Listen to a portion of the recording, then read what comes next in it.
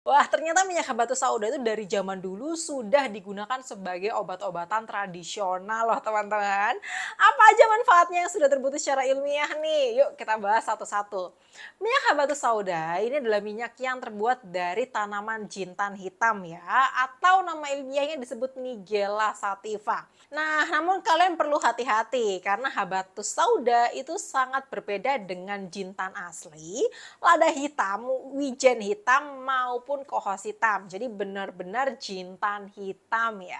Penelitian dilakukan oleh Jawaharlal Nehru Medical College di India menemukan bahwa orang-orang yang terkena strain bakteri maupun virus super, maksudnya penyakit-penyakit yang resisten atau nggak mempan nih ditangani dengan antibiotik-antibiotik biasa, termasuk penyakit HIV, Staphylococcus, tuberkulosis, influenza, gonore, kandida, dan malaria gitu ya. Apalagi penyakit yang menyerang saluran pernafasan seperti pneumonia itu ketika digunakan ekstrak minyak habatus sauda disandingkan dengan antibiotik seperti amoxicillin, gatiflosaksin, dan tetrasiklin itu menemukan dari 144 strain bakteri super yang diuji dibandingkan antara minyak habatus sauda dengan antibiotik-antibiotik tersebut, ternyata 97 di antaranya dapat dihambat oleh minyak habatus sauda.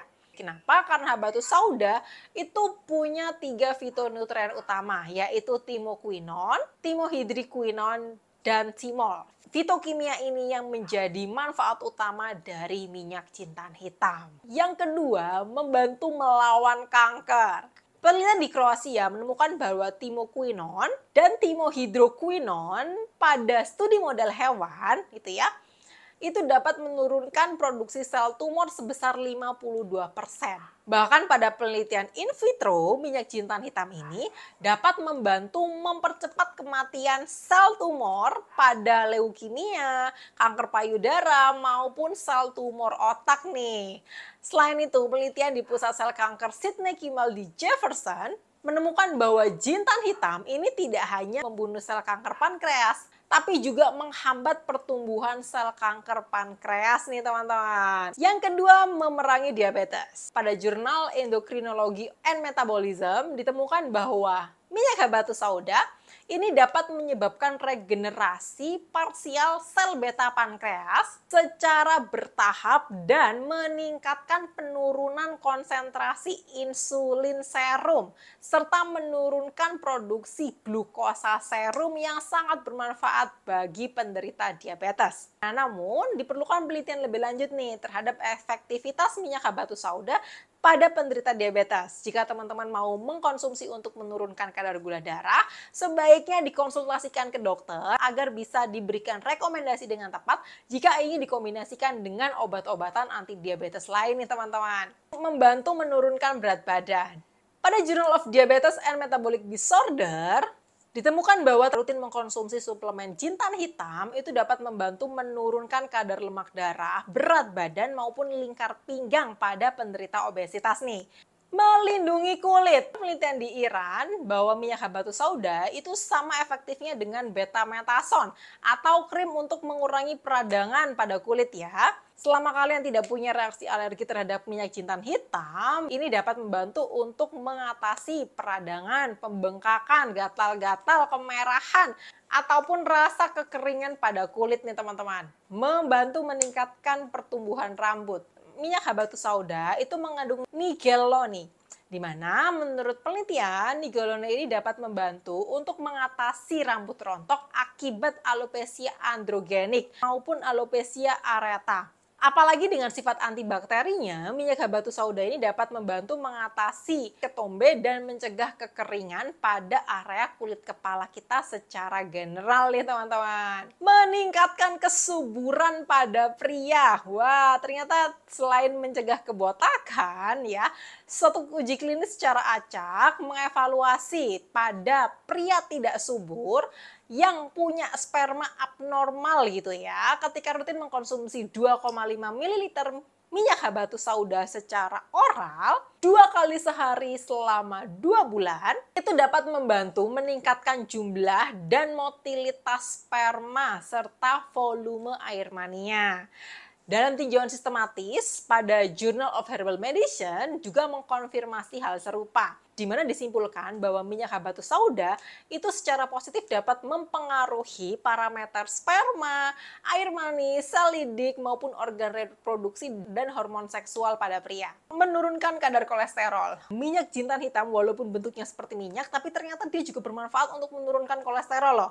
Nah, sebuah penelitian yang menggunakan hewan pada tahun 2017 menemukan bahwa minyak habatus sauda itu tidak hanya punya efek anti diabetes, menurunkan gula darah, tapi juga membantu membantu mengatasi kolesterol, menurunkan LDL, kadar lemak jahat maupun trigliserida. Jadi ketika hewan tersebut diberikan dosis minyak habatus sauda selama 6 minggu, dapat menstabilkan kadar gula darah, menurunkan kadar kolesterol total, kolesterol LDL, meningkatkan HDL, dan menurunkan kadar trigliserida. Uji coba lain pada manusia secara acak gitu ya, yang menderita hipertensi saat mengkonsumsi 100-200 mg minyak batu sauda dua kali sehari selama 8 minggu itu mengalami penurunan tekanan darah, diastolik maupun sistolik, serta penurunan yang signifikan terhadap kadar kolesterol total maupun LDL nih teman-teman. Lalu gimana sih cara pakainya? Sebenarnya belum ada literatur pasti tentang penggunaan dosis jintan hitam. Namun, pada penelitian ilmiah saat ini ditemukan bahwa untuk diabetes itu bisa menggunakan 1 gram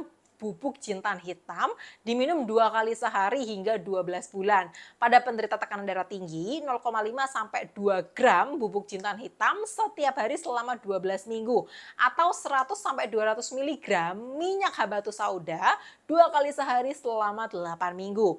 Nah, untuk meningkatkan fungsi sperma itu rata-rata 2,5 mili minyak habatus sauda dua kali sehari selama 2 bulan pada penderita asma ataupun ada infeksi gitu ya, itu bisa menggunakan 2 gram habatus sauda diminum setiap hari selama 12 minggu. Nah, namun ada manfaat pasti ada efek sampingnya nih teman-teman. Nah, beberapa dilaporkan bahwa minyak jintan hitam itu punya kadar toksik yang disebut dengan melatin. Ya, melatin ini merupakan komponen beracun yang jika dikonsumsi dalam dosis tinggi dapat meningkatkan reaksi kerusakan pada organ. Selain itu ada reaksi alergi. Jadi orang-orang yang punya reaksi alergi ketika mengoleskan minyak habatus sauda di area kulit itu akan mengalami kulit melepuh, gatal-gatal, bahkan sampai nekrolisis epidermal toksik ya. Jadi sebelum kalian menggunakan minyak habatus habatus sauda untuk meningkatkan kesehatan kulit atau meningkatkan pertumbuhan rambut gitu ya. Diaplikasikan ke kulit harus dicoba dulu dengan dosis yang kecil, perlahan-lahan untuk menghindari efek reaksi alergi tersebut. Resiko perdarahan, ya minyak habatus sauda ini dapat menghambat pembekuan darah dan meningkatkan resiko perdarahan.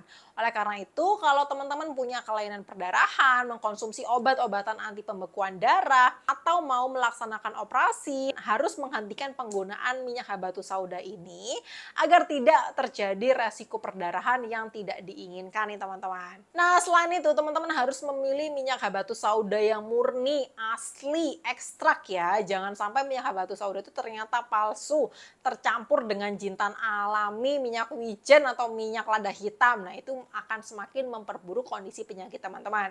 Ketika kalian membeli habatus sauda, pastikan yang sudah legal ber-BPOM biar memastikan bahwa itu memang benar-benar habatus sauda yang berasal dari minyak jintan hitam. Oke. Kalau teman-teman ada pertanyaan atau ada yang disusikan, silahkan komentar di bawah ya. Dan ada teman-teman, see you di video lanjutannya. Bye!